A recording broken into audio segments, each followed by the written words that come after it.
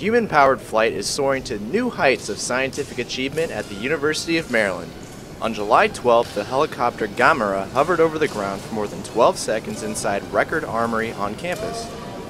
Engineering Dean Darryll Pines. What you just watched was the longest flight of a human powered helicopter built by the University of Maryland team. It simply says that our students are really, really good. They can fly something that's never been flown before, and then they can actually try to achieve something that they didn't think they could do. The team crushed the national record of 4 seconds, which Gamera had set earlier this year. They also set a world record for human powered flight by a woman. It's a really neat position to be in when you are sort of fulfilling the hopes and dreams of 50 engineers.